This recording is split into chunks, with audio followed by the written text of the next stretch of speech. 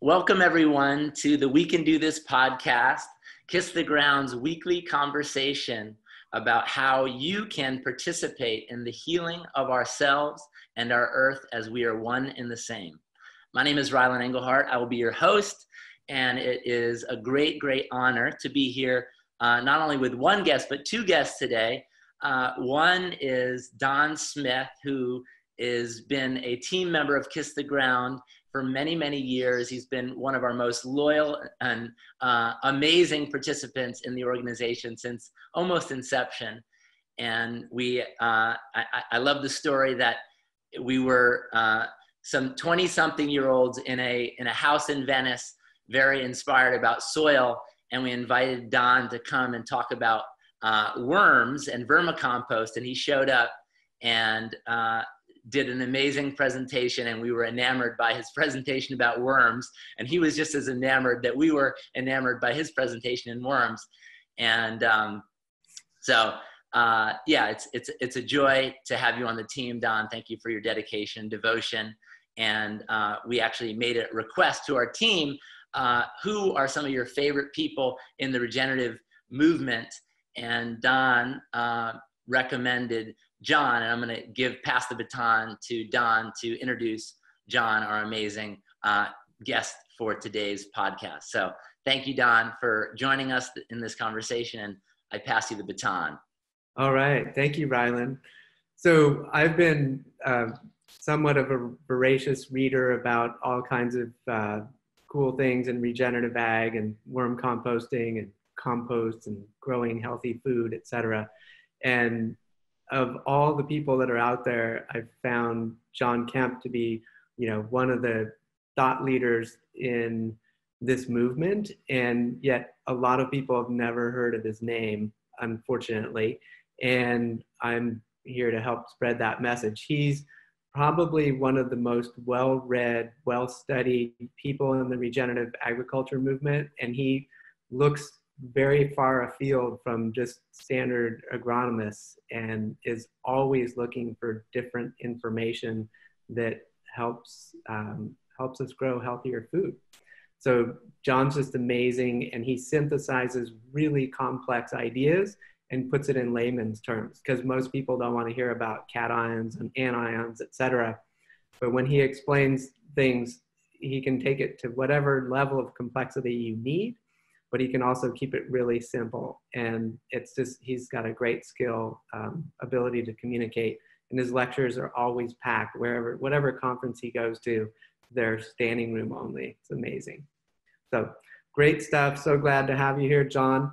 I just want to clear up one thing. The reason normally these are broadcast live, but because of your tradition, we just like to hear a little bit about um, the reason that we're doing an audio without the video, it would be great if you could explain it to our audience, just so that people understand um, the whole the whole concept.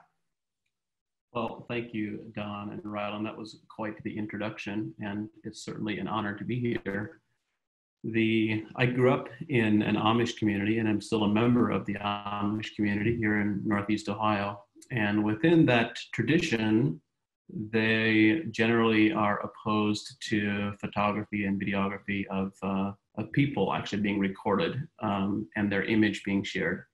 So for that reason, uh, this is why I'm on my podcast. It's audio only, and uh, I'm very passionate about sharing the information that we've developed. But um, I try to stay off camera as much as possible. And I've actually found um, initially there were there was the idea and the perception um, from some of my colleagues that this might be a weakness. And I've actually found that there's a bit of uh, fun, mystery, and intrigue of being the guy that's off the camera all the time. So I really enjoy it. Fantastic. Love and, it. And, and John, just so I can understand at a little deeper, I imagine that there's some philosophical um, reason for uh, I, I, made up in my mind a couple different ideas of why they don't want image captured or and i was just curious um, what is the sort of philosophical idea around not having our image captured or shared Well, it comes from the uh, historical uh, Judeo Christian worldview and uh, perspective that the Anabaptist and Amish community really uh, came from and originated from. And the idea was the is their translation or their interpretation of one of the Ten Commandments, which says, "Thou shalt have no graven image before me." And so their interpretation of that is since since we are built in God's image, then we should have no images of ourselves that are out there that are circulating around that we can refer to. Mm. That's um, beautiful. I, my only distraction was that you were breaking up a little bit on the audio. Um, and so uh, you said that you are recording a hard audio. Uh, okay, cool. So it will we'll have beautiful, awesome. Thank you for that. All right, great. Now we can get to the real meat of this. Can you describe what regenerative agriculture means to you? I believe that the way regenerative agriculture conversation is being framed today is commonly focused on regenerating soil health. And that isn't particularly incorrect, but I believe it most certainly is incomplete. And we really should be, if we go for the ultimate goal, the ultimate goal in my, from my perspective, is that we should seek to regenerate public health and ecosystem health. So we should seek to regenerate the entire ecosystem of the planet, the globe, what that means for all these different organisms, uh, wild plants and animals and rivers and streams and so forth.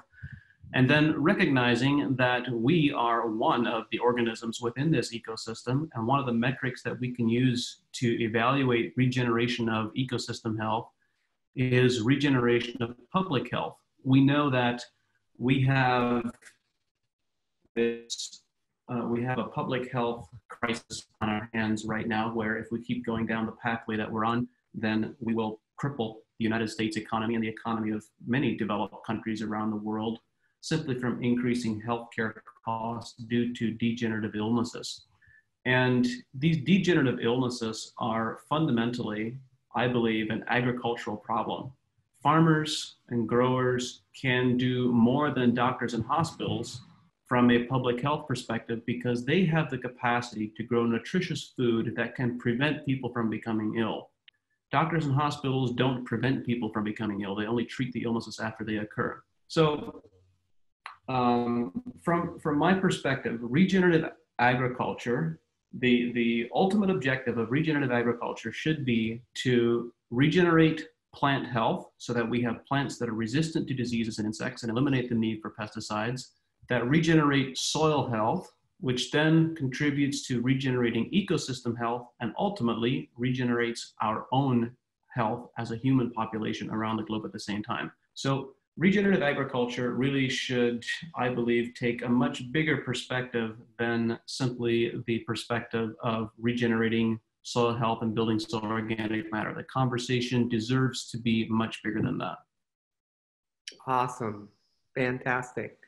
And one, one, one follow up just on has regenerative agriculture always been the word that you've used for describing agriculture that's uh, increasing uh, biological life on land, or is that a relatively new term that? Because I know there's a lot of views on where that term comes from, and um, so I'm just curious on how you how, where you perceive that term coming in. It's not a new term for us, and I know there's other people in this space, but it's not a new term for. Earlier on, I first started advancing eco agriculture in 2006, and we use the terms of ecological agriculture or biological agriculture, which is really where the name of advancing eco agriculture came from, was the intent for the word, for the syllable eco, was to represent both ecological and economical agriculture. But then we chose very deliberately in 2011, we chose to begin using the word regenerative agriculture. So uh, there have been other people who've been using that word in this space, but I think um, we've we've certainly helped to popularize it and bring it to the mainstream, at least for the farming audience that we work with. And I believe the word itself is is very words are powerful, and the concept is extremely important. Before the popularity of regenerative agriculture, which has really exploded in the last three years in particular, and uh, very recently. Before that, the quote unquote fad of the day was sustainability and sustainable agriculture. And I made the point then that we should have no desire to sustain where we are in agriculture. What is it that we're really trying to sustain? We first need to have a conversation about a regenerative agriculture that regenerates soil health, regenerates plant health, and grows plants that are resistant to disease and insect performance, uh, resistant to diseases and insects, and has extremely high yields of high quality food. Once we've achieved this much higher plateau of performance, at that point, and only at that point, can we have a conversation about true sustainability? An ecosystem or an, an agricultural management system that is constantly reliant on external inputs of fertilizers and pesticides cannot be defined as sustainable from a global context.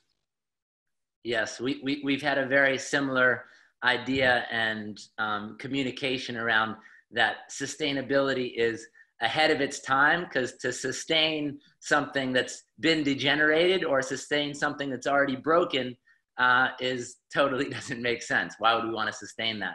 So I, I, I love I love um, hearing uh, reflections of similar insights that are just emerging in different times and spaces, um, but in, in, in, similar ways. It's awesome. Don, so, yeah, go yeah. for it. So, um, what was your big aha moment that started you down this this path of learning about regenerative agriculture, or just how plants grow in particular? Oh my, there have been several. Um, the, the first significant aha moment that really changed my pathway, um, I, it's important, I think, for context to understand that I didn't just gradually grow into the concepts of regenerative agriculture and producing healthy plants. I was from the opposite side of the tracks. My father was a pesticide distributor for the local region. I grew up on a family fruit and vegetable farm. Uh, I was a licensed private pesticide applicator when I was 16 years old. And as a result of my father being the local distributor, we were the first people to try all the newest, latest, and greatest cocktails and then make recommendations to our customers and how well they were working for us. So I was really embedded in that system and understood it quite well, uh, very well. I studied pesticide modes of action and how they worked.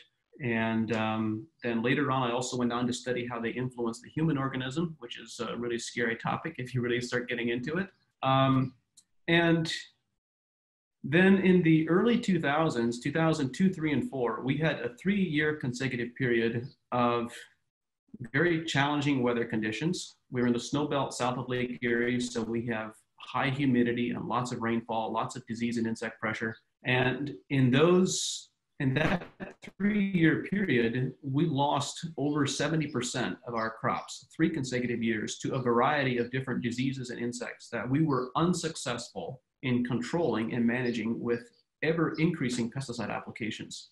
And this led, understandably, to a lot of frustration. I still remember making the comment to my dad that I might as well do nothing for nothing as do something for nothing, because it seemed the pesticides were being largely ineffective.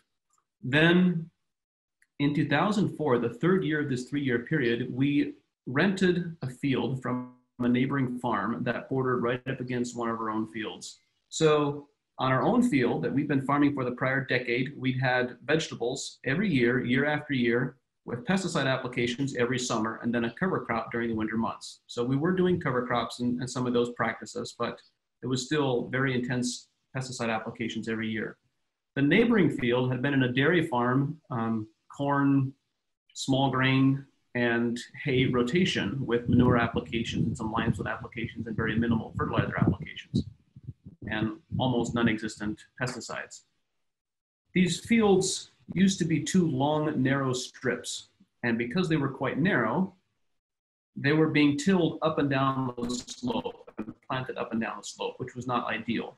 Now that we were farming both fields, we switched the direction of planting and tilling, and we started planting crops across the field border. This field was right out beside the road where everyone could see it driving by. And on the old section, we planted this field in 2004 into cantaloupe. On the old section, that we've been farming for the prior decade, at harvest time, 80% of the leaves were infected with powdery mildew, and it almost cost us the crop. On the new section that had been in the dairy farm rotation, there was no powdery mildew. There was this knife line right down where the former field border had been that you could clearly see the divide of the section that was infected versus the section that was not infected.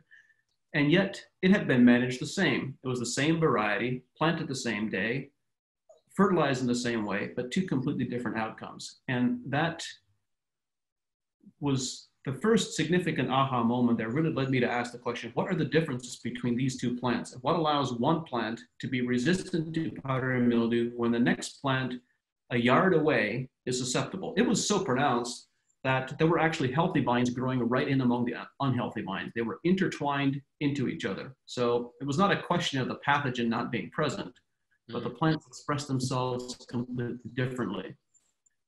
So that was the first significant aha moment that really got me started down a different pathway of realizing that plants have immune systems and can be resistant to diseases and then resistant to insects.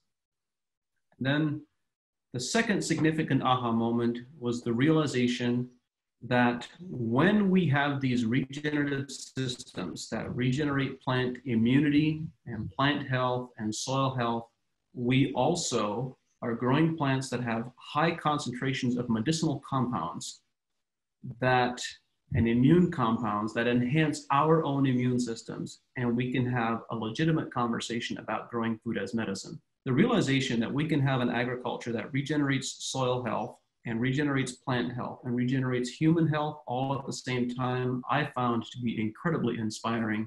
And this is why my personal mission is to have these agriculture models become the mainstream globally in the next couple of decades. Hopefully, wow. I, I, I, am totally lit up and inspired. I, I, I am, wow, really, really amazing, amazing. Just your articulation is beautiful and speaking right to my heart. So thank you for that.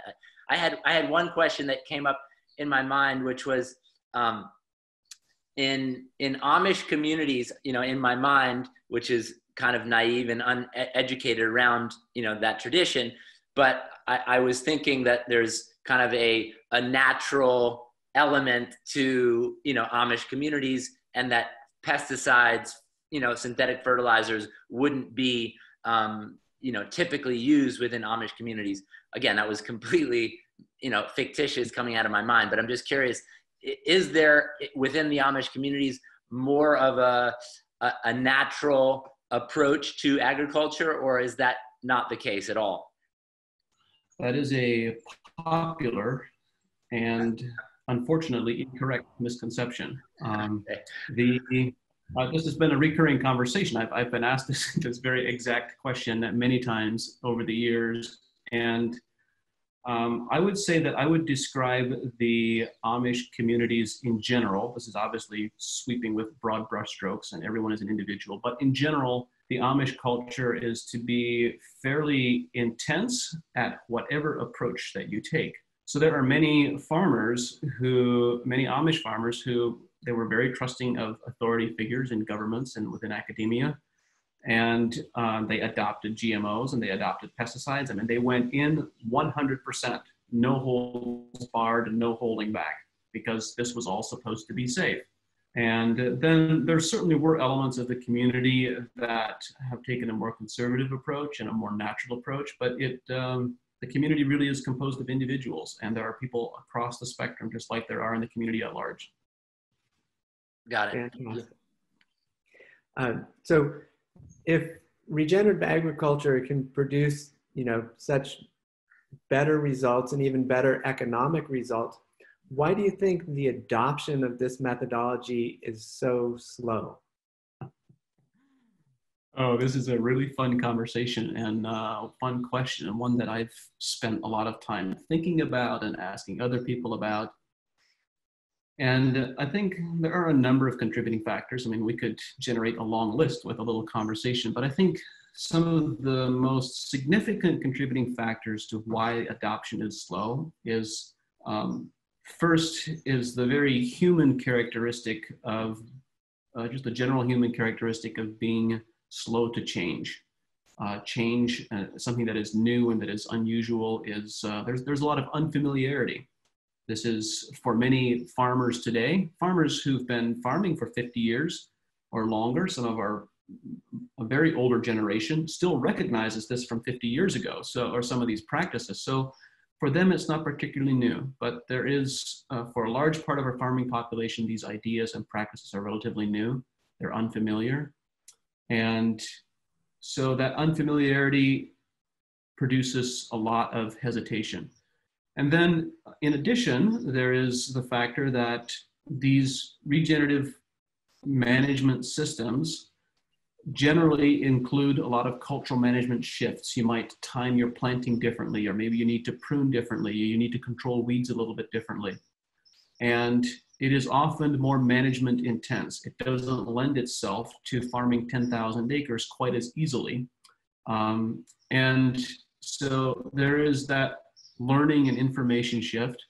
But then I think one influence that is very close to the top of the list is concern about what friends and neighbors will say.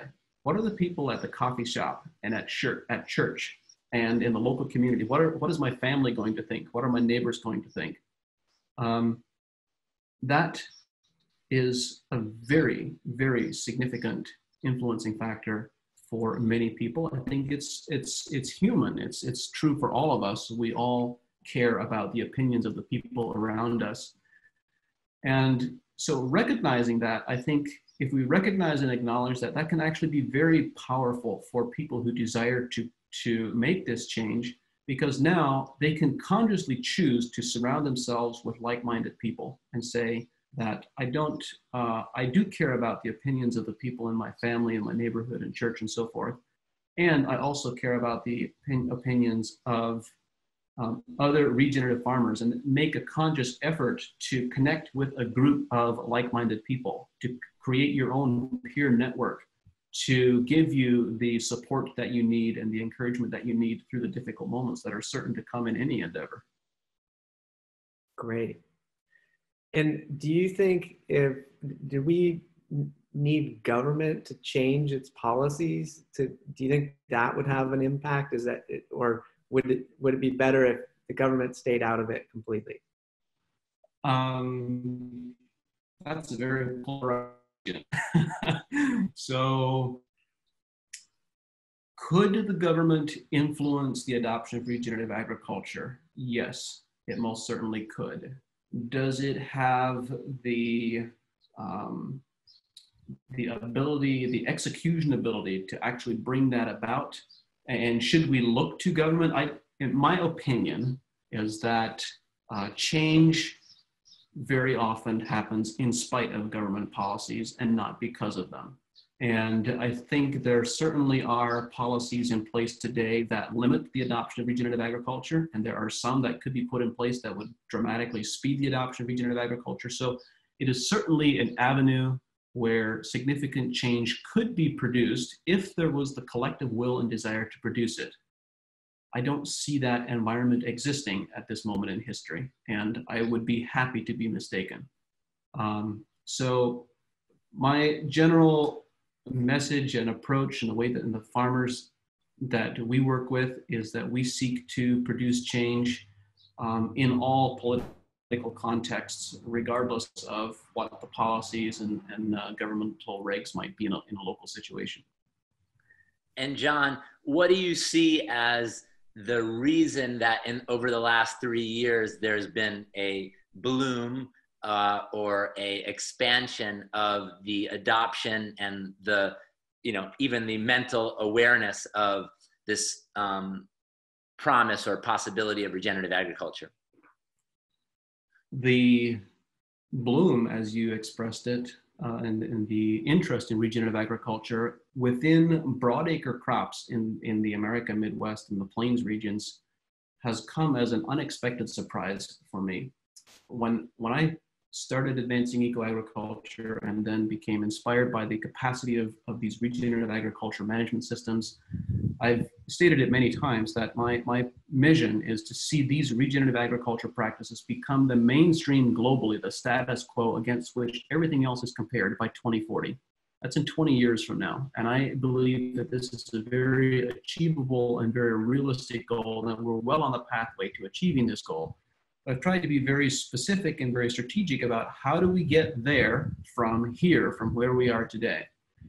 And 10 years ago, I believed that um, the answer to that question was that we would first begin working with the innovators and the early adopters, uh, those people with that mentality and mindset who had a higher appetite for risk and so forth.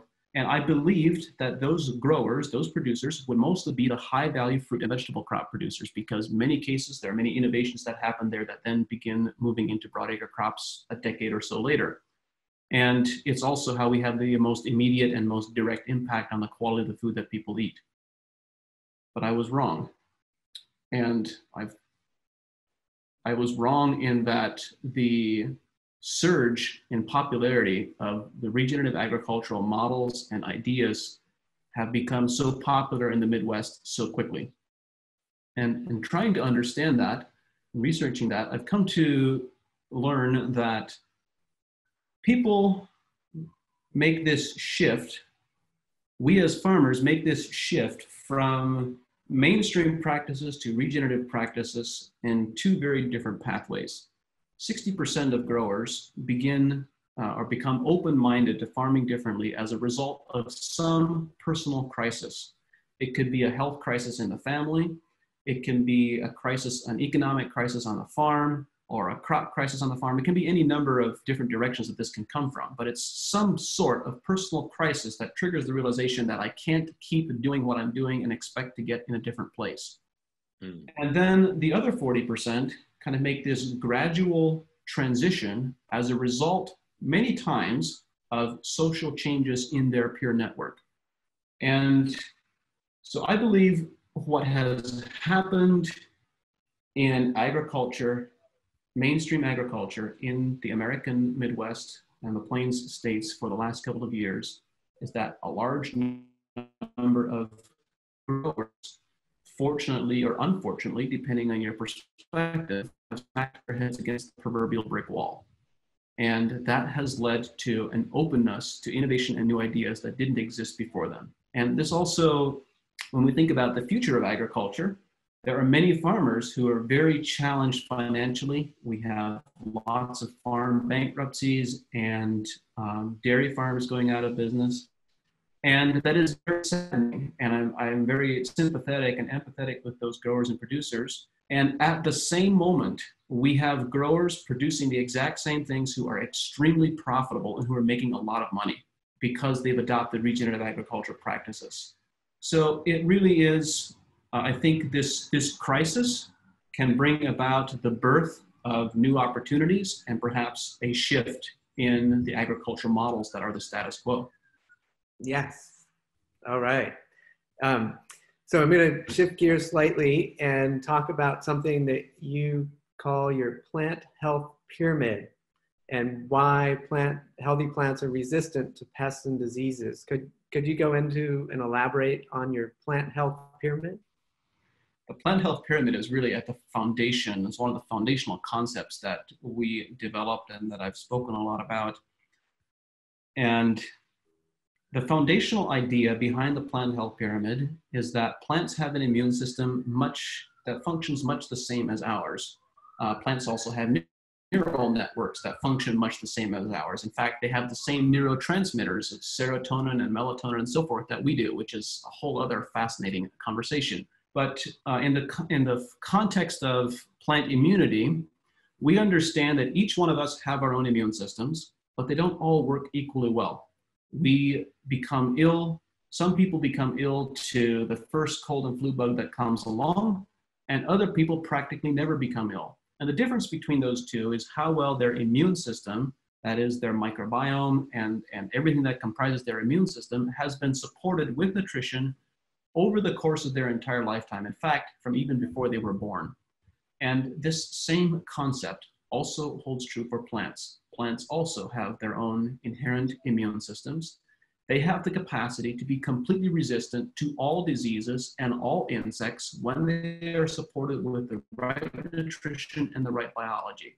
And I know that that sentence that I just said is a very significant statement. It's a very big statement. To claim that you can produce crops that are resistant to all diseases and all insects is a very big claim. It's not one that I make lightly. I know from in-field experience that we can produce crops that are resistant to every disease and every insect, including locusts. So if you can have a conversation about developing a crop that is resistant to locusts in Africa, you can have a conversation about a broad other array. And so I'm, i make that comment and make that statement based on actually achieving and delivering those results on hundreds of thousands of acres across dozens of different crops all across North America and some foreign countries as well. So the plant health pyramid is a diagram that we developed to describe how we observe plants becoming resistant to different groups of diseases and different groups of insects based on what was happening within plant physiology and that the level of that plant's nutritional integrity and the plant's microbiome integrity. So uh, there are four different levels in the plant health pyramid. Um, the first level is when they develop, uh, when they have strong photosynthesis, uh, I, what I call complete photosynthesis, which means that they now produce both more quantities of sugars and photosynthate, photosynthates every day, and also a higher quality of sugars and photosynthates. At this stage, the plants become resistant to all the soil-borne fungal pathogens such as Fusarium and Verticillium and Rhizoctonia and Pythium and so forth. The second stage is when plants begin forming complete proteins and they no longer have the soluble nitrogen forms, nitrates, and some soluble forms of amino acids in the plant sap that are required by some insects as a food source. So for all these, this group of insects, which would include um, aphids and whiteflies and leafhoppers and all the larval insects such as uh, cabbage looper and tomato hornworm and corn earworm and so forth, for all these larvae, they require soluble forms of nitrogen in the plant sap. When you change the way you manage plant nutrition, it's possible to have a plant that has an abundant level of protein, even uh, extremely high levels of protein, but no soluble levels of nitrates or some of these amino acids in the profile. And now you've removed the food source for these all these insect pests. So this is these first two levels of the pyramid are what I refer to as passive immunity. We're simply removing the food source that the organism requires in order to sustain itself and to feed itself. The second two levels of the plant health pyramid are um, when the plants, the third level is when plants have a highly functioning microbiome and they begin absorbing the majority of their nutrition in the form of microbial metabolites. They get this glossy, waxy sheen on the leaf surface when they have surplus energy and they store this surplus energy in the form of fats and oils. They get this glossy, waxy sheen on the leaf surface, and now they become resistant to all the airborne fungal and bacterial pathogens, downy and powdery mildew, uh, bacterial infectious diseases, and so forth. And then finally, the fourth level at the peak of the pyramid is when plants begin producing high levels of these plant secondary metabolites, phytoalexins, terpenoids, um, all these various aromatic compounds that plants produce as plant protectants to protect themselves from ultraviolet radiation, from insect attack, disease attack, overgrazing. You may recognize some of these compounds such as uh, resveratrol in red wine, um, anthocyanins in blueberries, uh, lycopene in tomatoes. These are all plant secondary metabolites that are at the foundation of these plants' immune systems. And we know that they can also enhance, many of these can also enhance our own immune systems. So at this last stage, this fourth stage in the plant health pyramid, this is when fruit develops extraordinary flavor and aroma. They're extremely flavorful. And these plants now also become resistant to all of the insects with more difficult digestive systems, or I should say, more complex digestive systems, such as uh, the beetle family, uh, Marmorated stink bug and uh, Colorado potato beetle, adults, and Japanese beetles and, and cucumber beetles and corn rootworm beetles and so forth. So um, there's a lot of science and information behind the plant health pyramid. Um, and I've We've actually put a course together on our Academy online. There's also a couple of YouTube clips. So it is something that's really worth getting into and understanding a bit more deeply. And we've put lots of resources online where people can learn more about the plant health pyramid.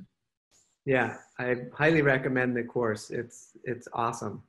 Um, so I've heard you mention this many times um, about farmers should really focus on maximizing photosynthesis, both farmers and ranchers, and that should be like their highest priority.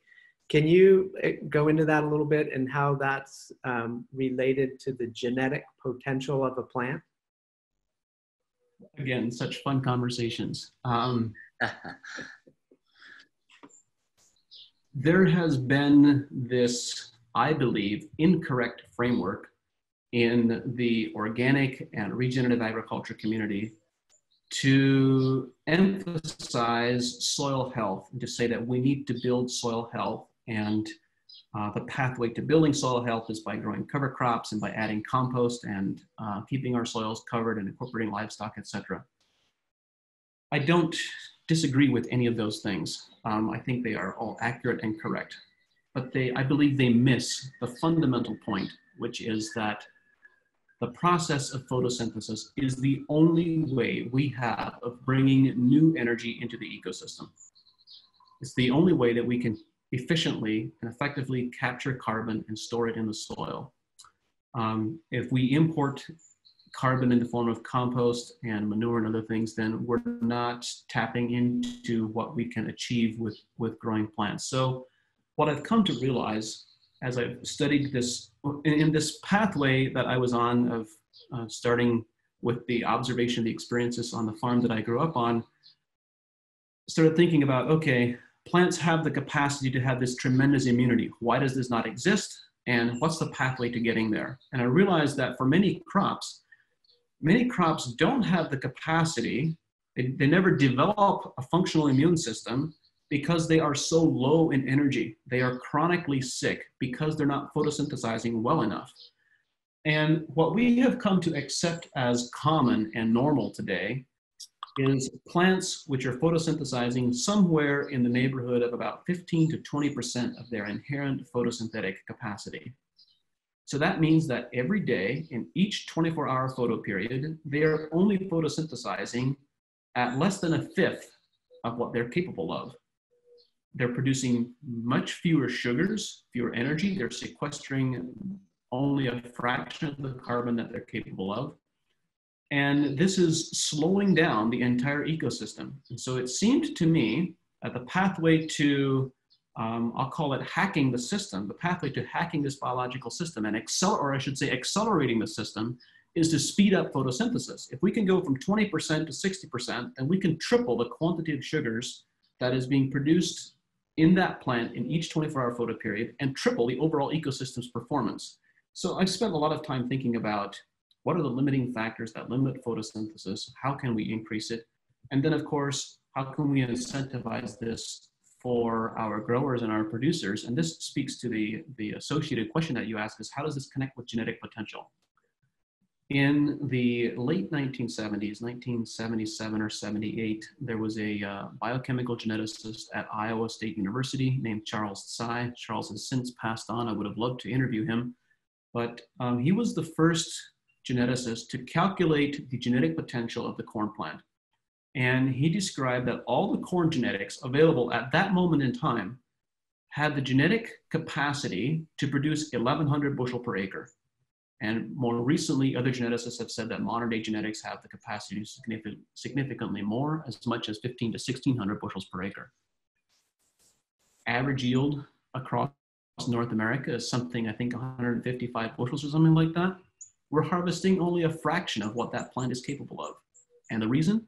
fundamentally is because these plants are not photosynthesizing well enough. It's really that simple. There is this direct connection between genetic potential and photosynthetic potential.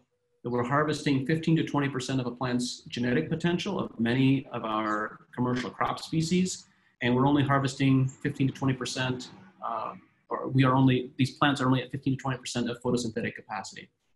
So the what this means in essence is uh, we already know from field experience on many acres, tens of thousands of acres, is that it's not an unrealistic expectation to expect to double or triple photosynthesis. That means it's not an unrealistic expectation to get significantly higher yields 30%, 40%, 50% higher yields. We have already experienced this and done this on a commercial scale on many high value fruit and vegetable crops. And the same capacity exists on broadacre crops as well. And so this, this then speaks directly to the conversation of how are we going to feed a growing world population?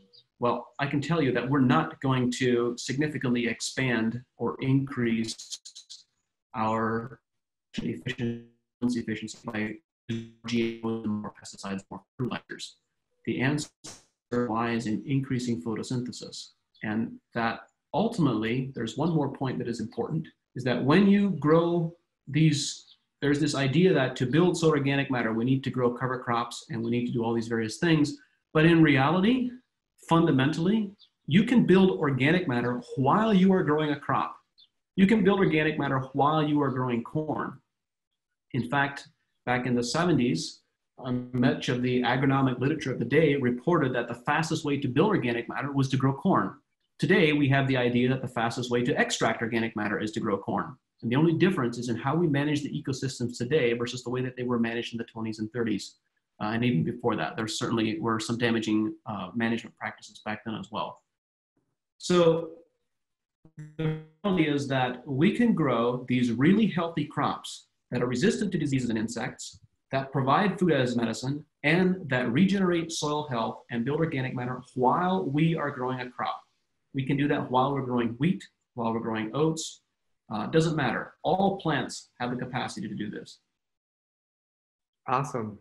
Wow. That's going to open a lot of people's minds because I love how you can say it because you've actually done it. It's, it's awesome. Um, so, uh, talking about soil organic matter, can you explain why building soil organic matter is so important and how a robust soil microbiome is critical to the process? This is another uh, another fun uh, fun question. So, um, actually, can you repeat that question once? Sure, more? sure. It, it's um, can you explain? Don, yeah, Don. But I had one. I had one follow up to the, before you do a whole new question. I just had one follow up to the last uh, question, which is so most people think that you you have to do application of compost, cover crops. You know, you have to do these additional things to build soil organic matter. Um, where you're saying, you know, and there's kind of a, a perspective that growing corn is an extractive, fundamentally an extractive crop. But you're saying that we actually can be growing um, a, a, crop such as corn that we can be producing food as medicine we can produce more yield and we can be pumping carbon um, and restoring soil health and my question is what what's the blind spot that we're not seeing why there's even even in the perspective of possibility of regenerative agriculture people are seeing we need to do these additional things and you're saying we can do it actually doing the thing that is most wanting to be grown on most of the acres of this this country? Yeah, so I'm not a fan of production, um, so I should express that opinion up front, but I, I will use corn as an example because it's uh, perhaps the example that has been the most well studied and well documented. Um, it is possible to build organic matter while growing corn on corn year after year. We actually have farmers who have done this, who've gained uh, growing corn on corn year after year, multiple consecutive years, and uh, gaining an average of a half a point of organic matter per year on a typical soil analysis. So significant organic matter gains. And uh, the pathway to achieving that outcome is simply by increasing the plant's photosynthesis. So this is the blind spot that you asked about. The blind spot is that everyone assumes that photosynthesis has a certain set level that is called normal, and that is what it is. And that isn't the case at all. It's very common. I'll, I'll continue with corn as an example. Um, and this also speaks to the question about why is organic matter important. Um, we know that for a plant to photosynthesize, kind of the, the macro ingredients that are needed are that you need to have adequate sunlight, you need to have adequate water, and you need to have adequate carbon dioxide and chlorophyll in the leaf. Uh, along, and, and I would add to that list manganese specifically for water hydrolysis. That is the one nutrient that merits being mentioned on its own. So when you look at this from a macro perspective, it's common for us as farmers and growers to think about okay, it's usually water that is the limiting factor. That's what we've become acclimated to. Water is the factor that limits photosynthesis. But in fact, in most of commercial production agriculture, it's not water, it's carbon dioxide that is the limiting factor. When you have a green corn, growing corn crop on a late June or early July day in the Midwest, um, the background atmospheric carbon dioxide is somewhere in the neighborhood, let's say, of 400 parts per million. And there is a very slight flush of carbon dioxide that emerges from the soil early in the morning. And usually it is common in many agricultural fields, particularly if they're surrounded by cornfields for miles and miles, is that this growing corn crop will deplete the carbon dioxide levels in the air from 400 parts per million down to less than 100 parts per million by 9 or 10 o'clock in the morning. That means that for the rest of the day, it doesn't matter if you have perfect water and perfect sunlight and a dark green plant with chlorophyll to intercept all of it. The limiting factor for photosynthesis from 10 a.m. until 7 p.m. is CO2. So this also speaks to the question is why is organic matter important? Um, if we ask that question, we can get lots of correct answers. We, say, we can say that organic matter is important because it increases water infiltration and water holding capacity, and it, it provides a substrate to increase our microbial populations. All of those are good answers. But I believe the biggest answer, if we and, and the best answer, if we want to accelerate the system's performance, is that we need to have high organic matter soils so that we can cycle it, so that we can lose carbon as carbon dioxide into the atmosphere and increase the plant's photosynthesis. Carbon dioxide or carbon isn't meant to be static in the soil. We shouldn't just have a conversation about sequestering carbon. Our goal as farmers should be to cycle more carbon. We want to sequester more and release more as CO2 as a result of microbial respiration for the next green growing plants to absorb. This is really why organic matter is so important to increasing. And, and, and the key point in all of this, you could say, well, that if you want to cycle more, does that mean that the atmospheric levels remain the same? Uh, and the answer is it doesn't. Uh, they don't remain the same. They do actually drop, but that's another broader conversation. But there's there are very imp- there's one very important um, side effect, if you could call it that, which is that when you cycle more carbon through the ecosystem, you significantly increase yields and you significantly increase quality and health. As a result of increasing photosynthesis, you raise the entire ecosystem's level of performance. And even though you're, you're cycling the same quantity of carbon in the total ecosystem, the reality is you're holding more in the soil as a part of that total cycle, and you're increasing the overall ecosystem's performance. That is really the objective. And I think that is the blind spot as you described it, is that we have assumed that photosynthesis is a constant, and it's not a constant. Excellent. Wow, that's that's a whole new that's a whole new story that I haven't uh, been privy to. I, um, thank you for that. You've been missing out, Ryland. Yeah. So, um, hence why John's on the show. And uh, could you also talk a little bit about how that microbiome is key for the plant health as, as well? What are all those microbes in the soil that are eating those photosynthates? What are, what are they doing for plant health? There's so many dots that tie in to answer your question. Um, so the microbiome is critical, it's fundamental for plants to get to higher levels of plant health, level three and level four on the plant health pyramid. And there's kind of this chicken and egg question of which comes first, the, the plant microbiome or the soil microbiome or the plant's capacity to support it. And I believe, again, that the answer, the source, is photosynthesis. That's how you bring new energy into the system. So let's talk first about how we sustain large microbial populations. The first is that, um, or the, the way that you sustain a very large microbial population is obviously they need to have a very large food source, much larger than what could, again, be considered normal or common. And when you increase a plant's photosynthesis from, let's say, for the sake of discussion, 20% to 60%, you triple the quantity of sugars produced in every 24 hour photoperiod. But it would be a rare crop for which that translates to triple yield. It's not common to see 300% yield increases. Um, you might get a 30% yield increase or a 50% yield increase, and on some crops, it's everything is context dependent. So uh, the question that we then need to ask is, if this plant has produced three times more sugars, but the quantity of sugars in the crop has only increased by 30% or by 50%, then where did all the remaining sugars go?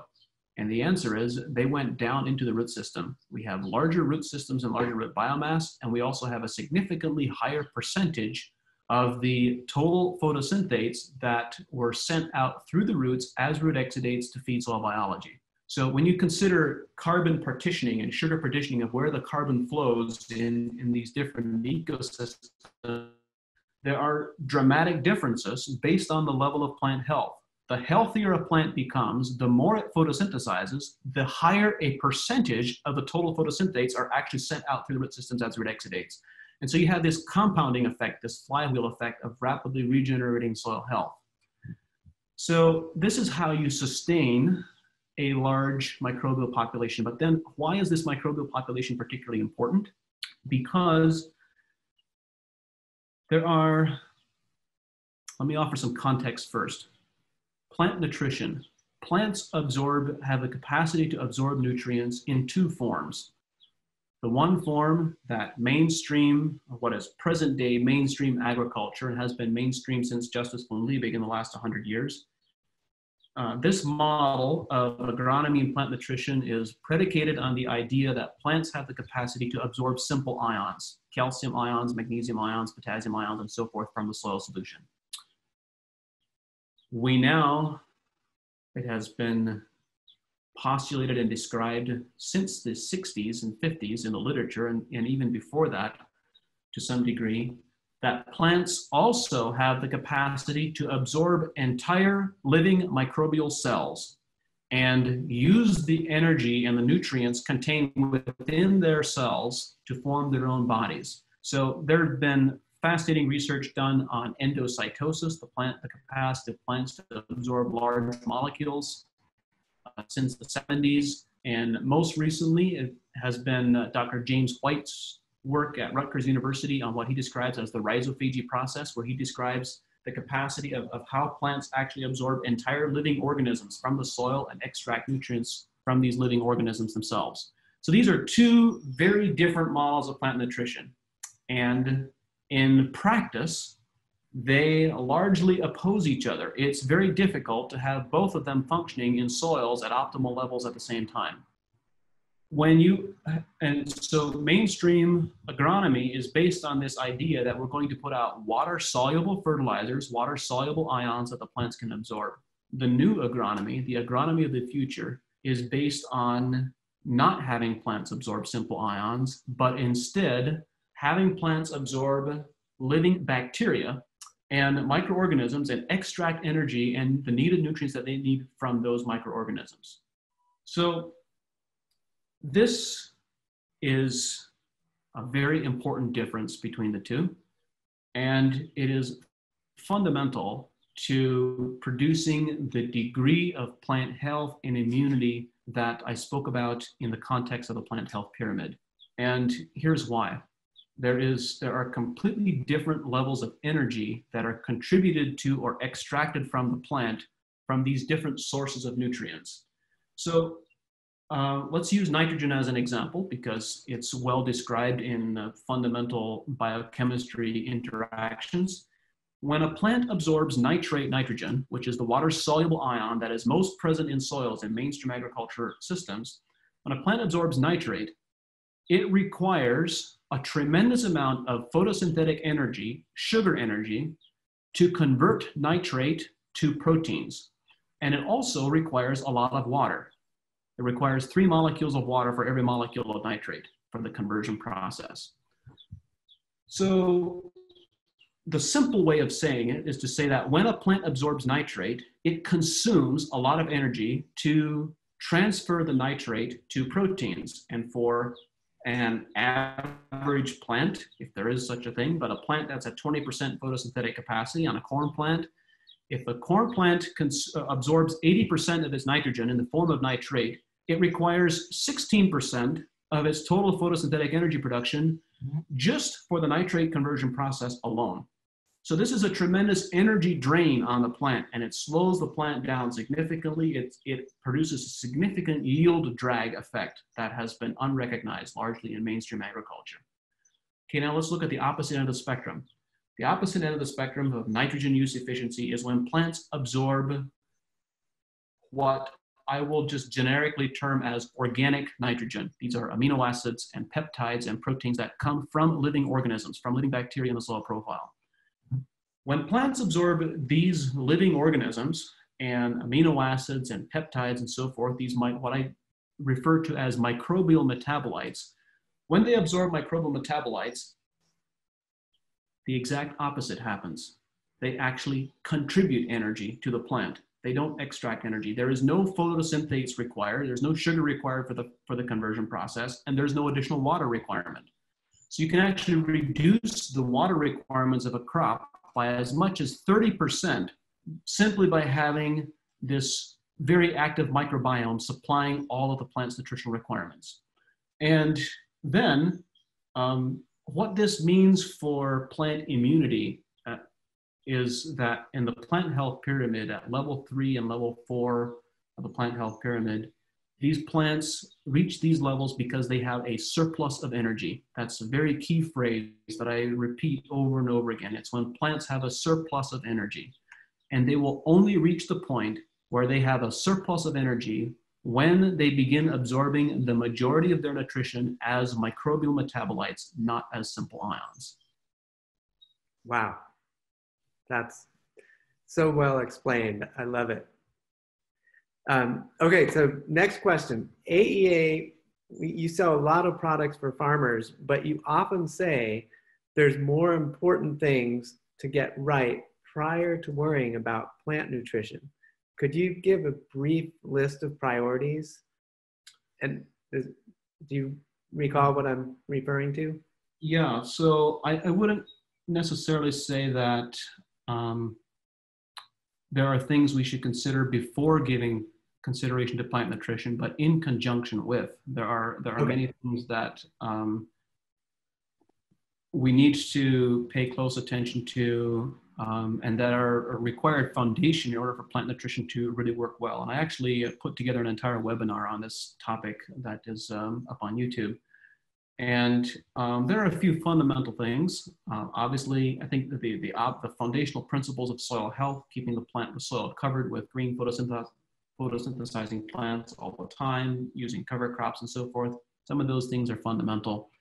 Specifically for high value fruit and vegetable crop production or wherever, um, in any context where we're using irrigation, managing irrigation water quality is extremely important and is a fundamental point that is so often missed. Irrigation water quality can actually have a bigger impact on plants than soil quality and soil health.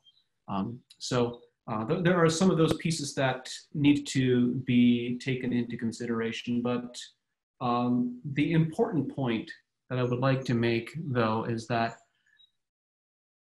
most of us don't really know what healthy plants actually look like anymore. And that means that we don't know how to manage healthy plants. And uh, I've been sharing a series of blog posts recently. I'm going to keep expanding this series of just what healthy plants actually look like. I've, I've shared some photos of healthy blueberries and healthy um, radishes and healthy peas and so forth. And I'm going to keep expanding this list. But what farmers invariably discover is that certain plant growth characteristics that they have come to think of as being a normal are only normal for unhealthy plants. And when you when you change the photosynthesis from let's say 20% to significantly higher, 40 to 60%, the plant's expression changes. And now that means perhaps you need to begin pruning a bit differently. Perhaps you need to begin planting a bit differently. Uh, and so this we really need to look as we as we increase the overall ecosystem performance in many cases when, when we reach these thresholds of these higher levels of performance that means that we need to change the way that we're managing our crops with cultural management practices planting and weed control and pruning and so forth all of a sudden we find that we need to shift those slightly and they're not the same as they were in the past because we have a plant that behaves differently than it did in the past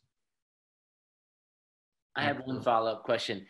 Um, could you speak a little bit to the importance of biodiversity?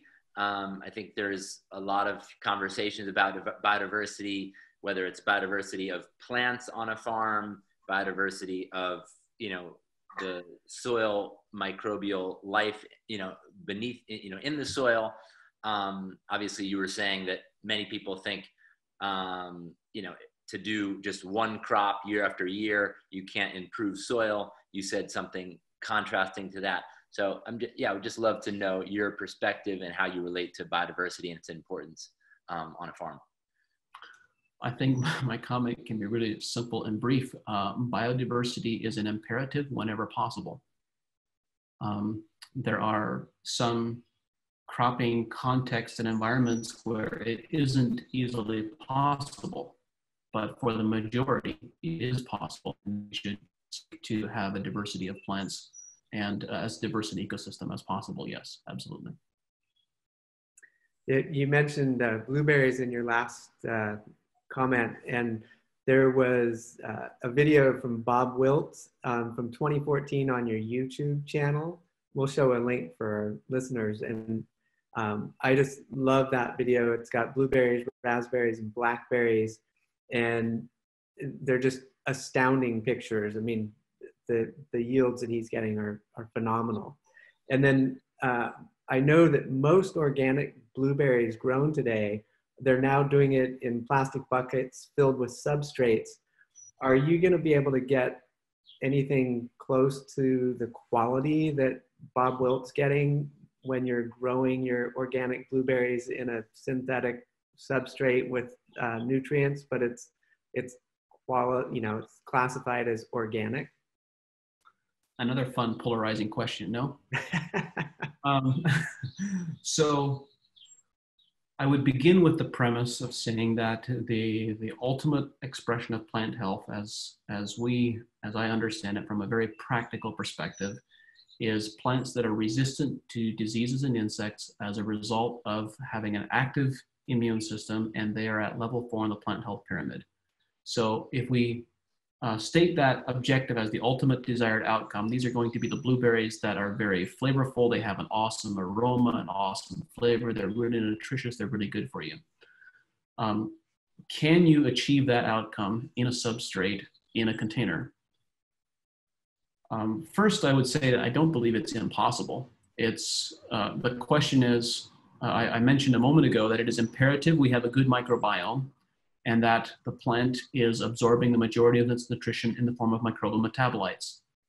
I believe that that container can be managed in a way to produce that outcome. It can be more challenging in some regards and easier in other regards, but I believe that is a possible outcome. I also believe that the way most of these plants are managed today, with a, a, a, being fed a solution of simple ions, precludes that possibility. So it is possible, but not the way many of these systems are being being managed and run today. And there's also it's it's interesting that you should choose blueberry plants to make this comparison because um, surprisingly, there, there are many plants that can adapt to these environments and be really healthy in these environments, again, when they're managed correctly and they're managed in a regenerative fashion. Um, when you think about the environment that blueberries are adapted to, they are natively adapted to growing in a peat bog. So is that really so different from growing in a peat or a coir-based container? Um, so the answer is it's, I believe it is possible to produce those levels of plant health in a container uh, and grown in media. But uh, for some crops, it's going to be more difficult. And for all crops, it's going to be impossible when they're fed a nutrient solution of simple ionic fertilizers. Great. Thank you for taking the polarization out of that. um, you interviewed Dr. Michael McNeill on your podcast, and he talks about transitioning large farms. He's also in your book.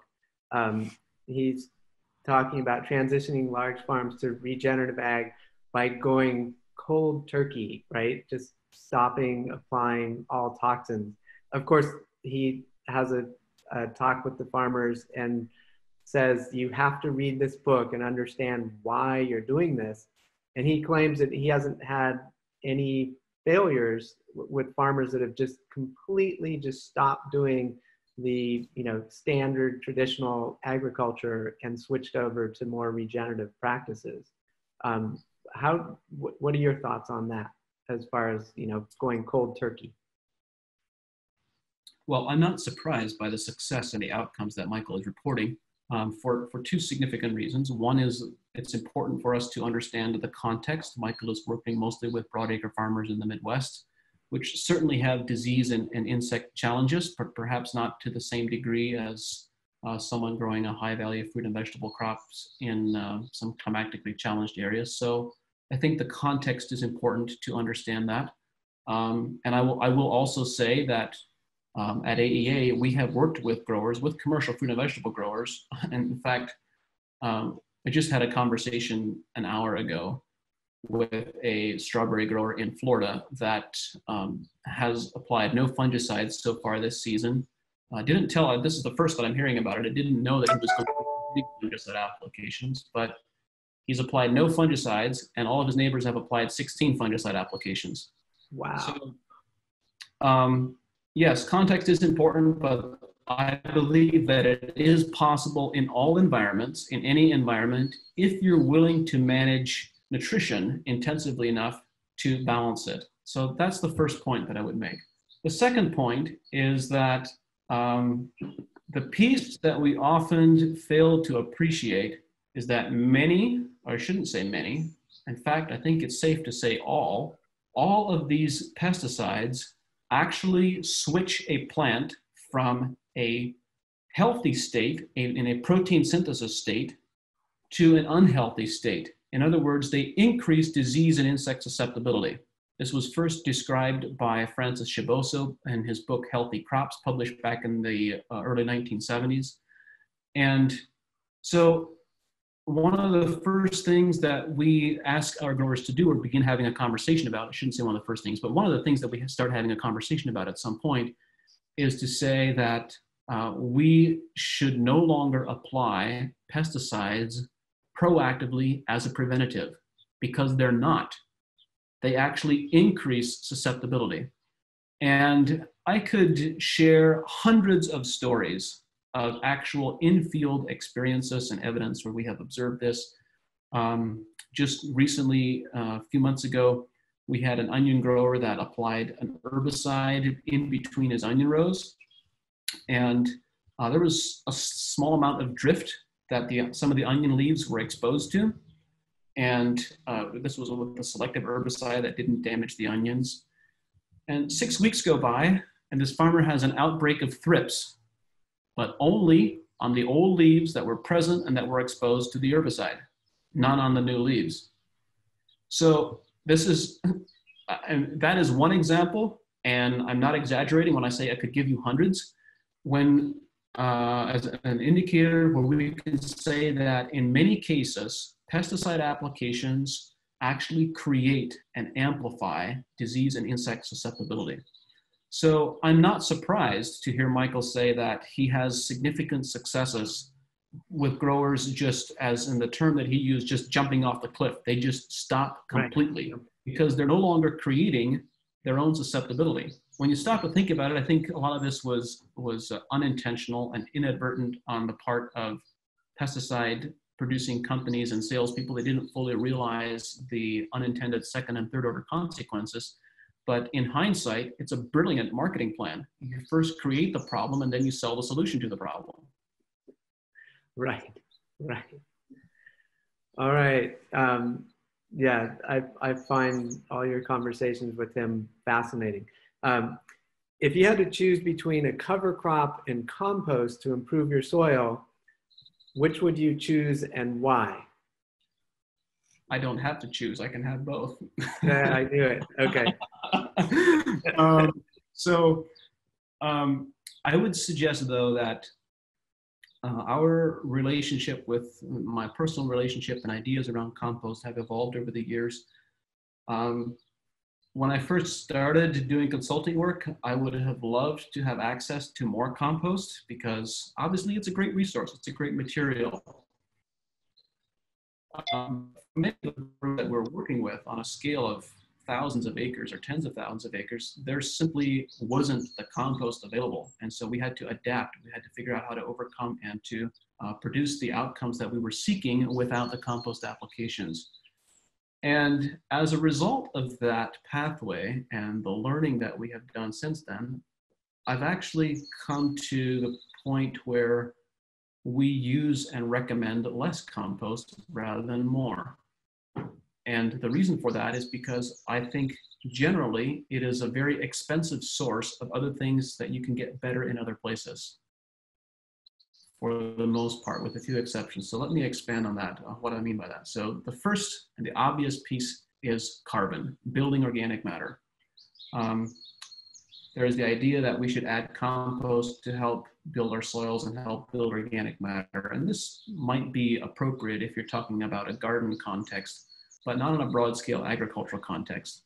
When you sit down and do the math of, and you calculate the quantity of carbon that a really healthy crop can sequester and can move into the soil profile, for a corn crop, depending on the variety and, and which region of the country we're talking about, we're talking about anywhere from 10 to 15,000 pounds of carbon per acre, not carbohydrates, but actual carbon, measured C. And you cannot economically afford to put on enough compost to compete with that. And remember that we want to have high organic matter in these agricultural soils because we want to cycle more, we want to release more. So um, the most efficient and cost-effective way for a commercial scale grower to rapidly sequester carbon is to increase the crop that he is growing, to increase its photosynthesis by using foliar applications of nutrients to spike the photosynthetic process and to temporarily accelerate it. And that's the most economical, the most cost effective, and it has the most significant ecosystem impacts. So today, where the way that I think about compost today is that it is a valuable and useful microbial inoculant.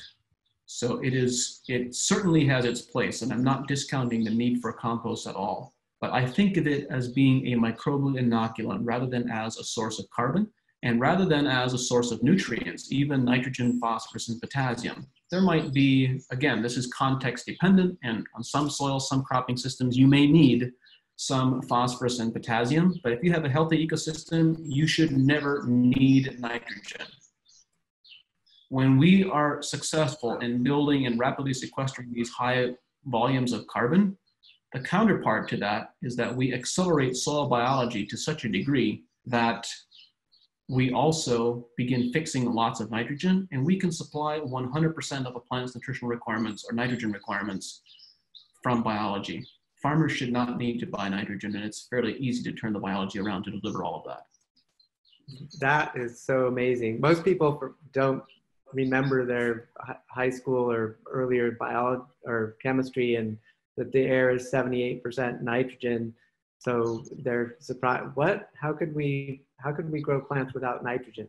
Where is it going to come from? When it's coming from the 78% in the air, as you described, yeah. 35,000 yeah. tons uh, in the 10,000 feet of atmosphere above every acre. And when you have good gas exchange and airflow into the soil, that nitrogen gas is consumed by biology and is converted to usable forms of nitrogen that the plants can absorb and can utilize. There is, there is, I mean, where do where do plants in the forest get their nitrogen from? Where do trees get their nitrogen from? I mean, we're growing a tree that weighs tons. It's not getting any nitrogen applied. It's coming from the atmosphere, and we can do the same thing, and we can accelerate that natural process in our agricultural ecosystems.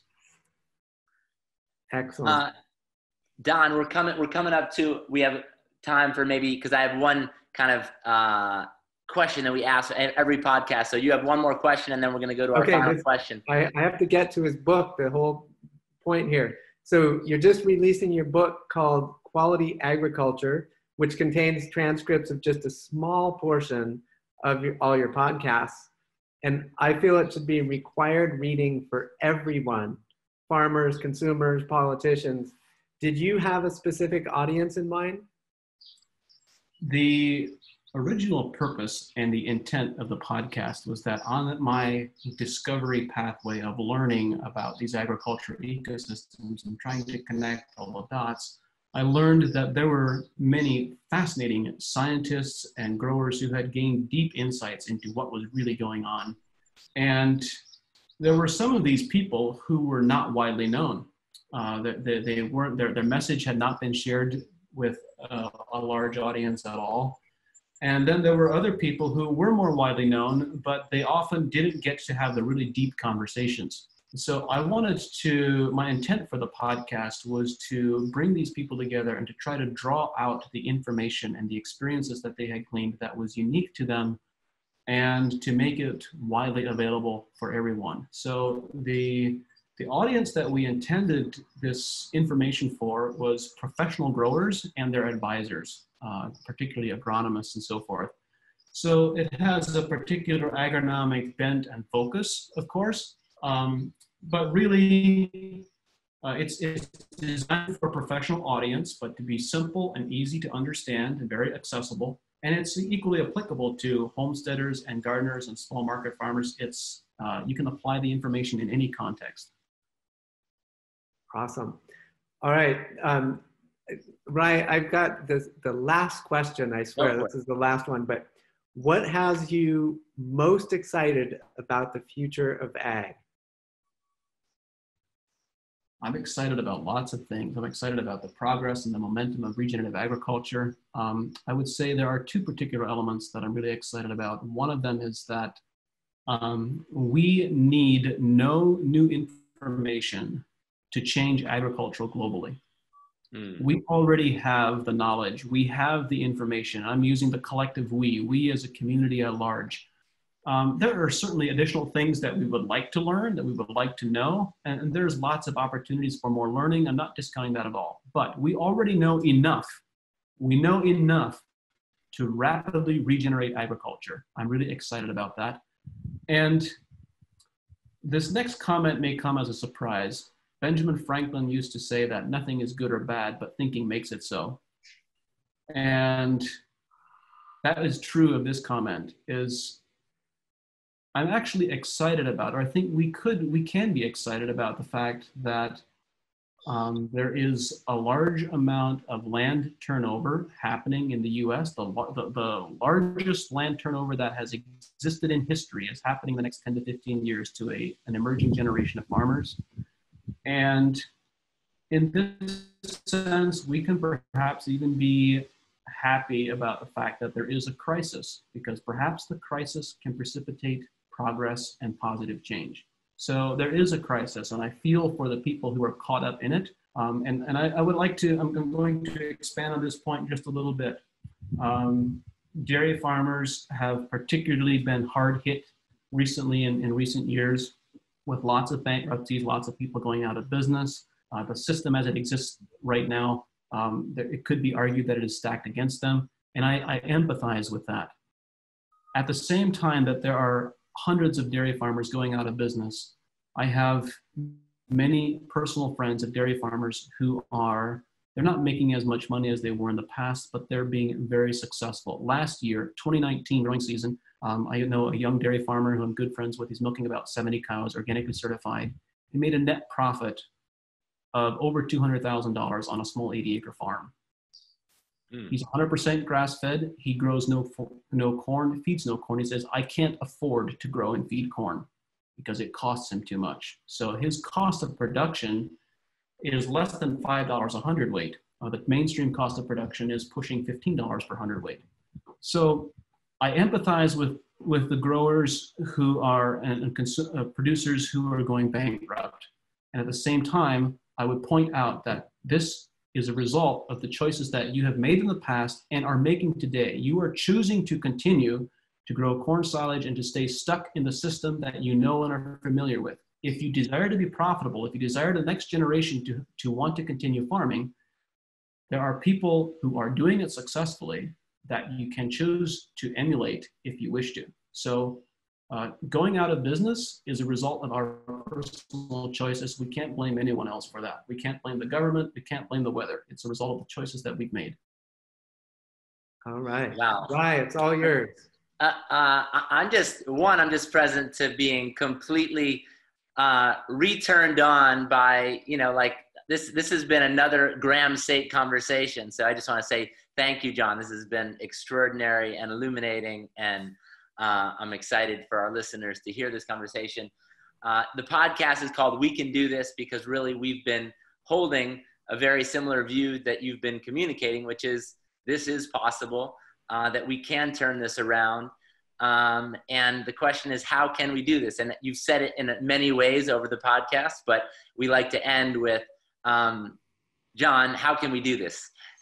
I think um, what I've really come away with over the years is uh, kind of boils down to two things uh, learning and sharing information. So, my advice to myself and to everyone else would be surround yourself with like minded peers, even if they're not in your immediate community and in close proximity. If they're a couple hours away or further, find people that you can really connect with, build a peer group around yourself that you can rely on for support, and then learn and share what you have learned with others because the fastest way to learn is try to is to try to teach something to someone else mm. and so in that spirit i would invite all of our listeners to uh, my I, I put that into practice with a blog that as much as possible i try to post five posts a week one every morning so i would invite you to go to johnkempf.com please subscribe to the blog and then when you find the information valuable and useful